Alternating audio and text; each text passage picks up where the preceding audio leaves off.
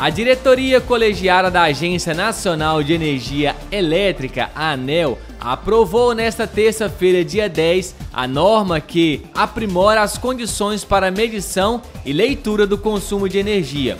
O novo regulamento, que estava em discussão há dois anos, busca flexibilizar e atualizar as regras considerando os recursos tecnológicos disponíveis.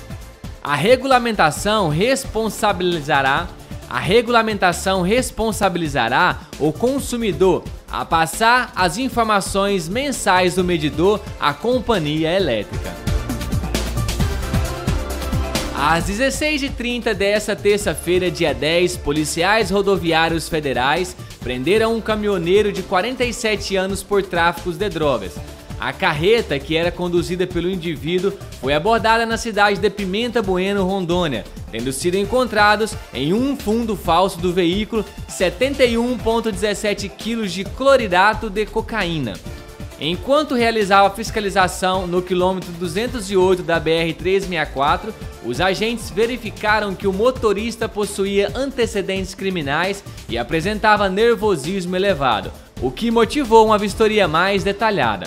Feito a busca no veículo, foram encontrados 68 tabletes da substância de entorpecentes.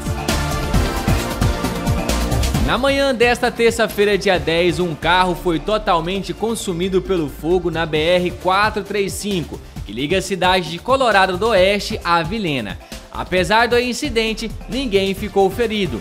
O veículo seguia para a cidade vizinha com dois ocupantes, mas a cerca de 5 km do perímetro urbano de Colorado começou a pegar fogo. A suspeita é que as chamas tenham sido provocadas por um curto-circuito.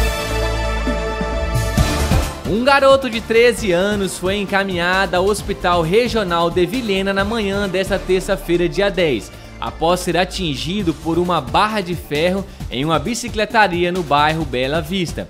As informações dão conta de que o adolescente teria ido ao local encher o pneu de uma carriola e ao colocar muito ar na câmara aconteceu uma explosão. A peça de ferro do aro escapou, atingindo a cabeça do menino. Devido à gravidade dos ferimentos, o menino terá de ser transferido para o Hospital Euro em Cacoal.